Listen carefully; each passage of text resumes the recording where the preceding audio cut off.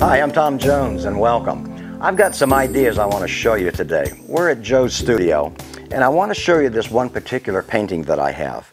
It's about having the sun rays coming through the forest in the background. I know that many of you who like nature and, and the wilderness have seen these types of scenes and thought to yourself, I would like to paint those types of scenes. I'm going to show you how I do it.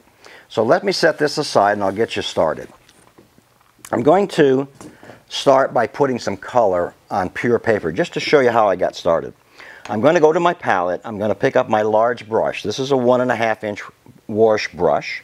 And I'm going to have a lot of water in this mixture that I have. And my mixture is ultramarine blue deep and hooker green deep. So I don't want necessarily a blue look to it or a green look to it. So I add those two colors and add enough water to where I have sort of a smoky look to it.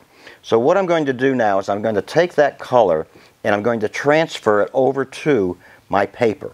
Watch what I do. A very, very light touch to this particular color going on the paper here. Just a light wash is all I have. So I'm just putting down enough color and then what I want to do is I'm going to pick up my little script brush which works like a rigger brush and I'll create the illusion the illusion of some tops of trees in this forest that I have here. So it's these little trees here just to give you a little interest in this particular area. And I'll show you again where it is in the actual painting itself. But just a touch of a few of these trees is what I've put here just to give you a little idea of the smoky uh, morning with the fog in the woods and the sun rays coming through early in that morning and so forth. Then what I'm going to do, I'm going to take a little bit of water in this particular spray bottle and I'm going to come up real close and just touch a few dots of color at the top of that tree area. And the reason for it is I want somewhat of a muted edge there. I don't want a real hard edge on the top of this tree line with the sky out behind it. So I'm keeping it sort of a misty, muted edge. Now what I'm going to do is I'm going to continue on for just a moment and I'm going to show you how I put this color in. Now if the color goes on too dark, what I'm going to do in my next stage won't work. So we want to make sure that this is a light value or a light color. If I feel it's too dark, what I can do is just take tissues, lay it on the paper like so, and just pick up some of the excess color and push that color back to a little bit lighter value. Watch what I do here now. Just take and just lighten it up so it's a lighter value. See how I've done that? I don't want a real dark value. If you've got some texture going on in here, great, all the better. All right? So that's how I start this particular exercise. Now, when I do the complete phase, this first phase of the painting, the color goes all the way out to the edges. So I want you to understand that perfectly. Let me take and set this aside for just a moment. I have a dry piece now, and I'm going to show you what the next phase is so that we can start this process. Let me set this one aside. Now this one I did a little earlier, and you can see it's basically the same idea. I've even started to introduce a layer of trees in here. Now let me mention this to you. The idea behind the sun ray effect here is that we want to come in with a light value to start with, with sort of a mist in the woods. Then we're going to come in with some very light values of some trees in the distance. Then we dry that. Then what we do is we come back in, we do the sun rays next. Then we put the darks on top the darker trees or the closer trees on top so that you have a layering going on in the painting and that's what we're looking for. So let me go ahead and continue on here. Again, have a tissue in hand and then start putting in some of these trees. Now notice if the tree area gets a little too dark, all you have to do is simply come in and just lighten it. Just take the tissue and lighten it. It's easier than using a paper towel in this case, I believe, because the, the tissues are more absorbent and you can sort of drag them down and get them quickly going without having to fold the paper towel and all of that. Have some of the trees going on an angle as an example. Remember, the beauty of nature is not in perfection. The beauty of nature is in its imperfection. So you'll want to have some of the trees leaning, some of them going straight up and so forth. Don't worry about getting too uh, complicated here. It's just a, an illusion that there's some trees or forested area going on in the distance.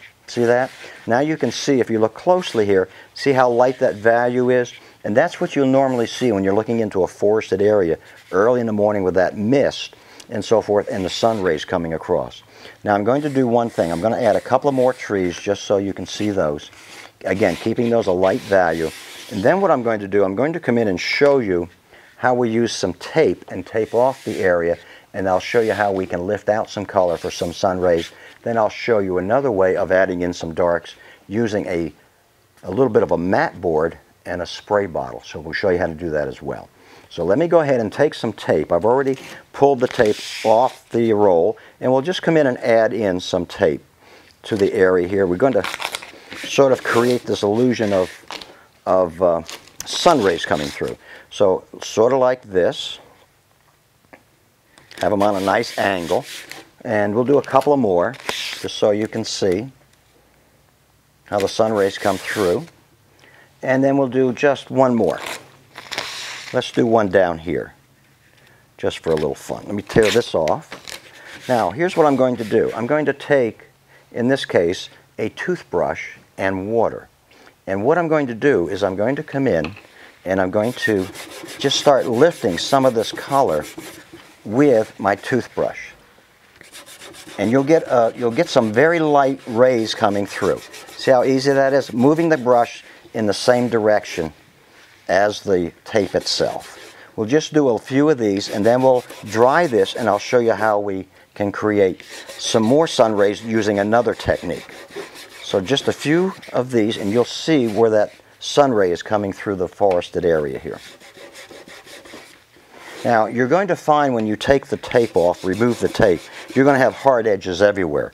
We can take our toothbrush and soften some of those edges and I'll show you how we do that as well. So let me pull this off. Let me go ahead and take the tape off. Make sure we've got some of the excess water picked, picked up. Pull off some of the some of the tape and you'll see some very faint sun rays to start with. You can start to see them right here.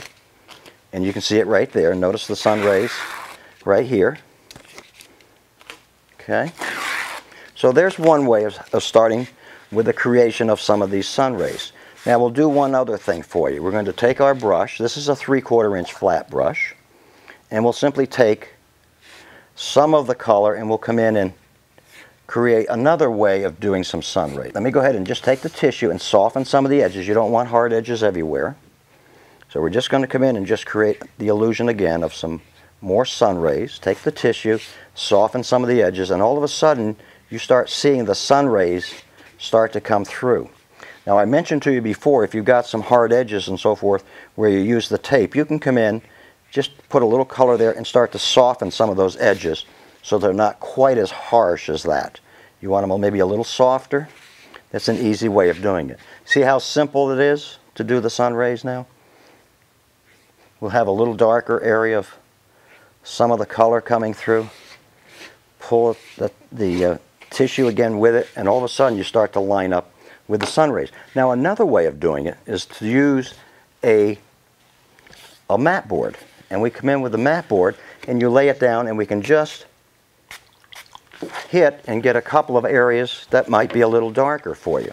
So there's three different methods of doing this now. So now we've got some areas that are a little darker. Let's try it again here. And notice all of a sudden you got these interesting sun rays coming through. Now at this stage, what we're going to do is we're going to take a minute and dry this and I can start putting in some darker trees. So we're going to have a layering going on with various trees coming through here. So that's the next stage. So let me take a moment. I'm going to go ahead and dry this particular painting and then I'll come back and we'll continue on with the trees.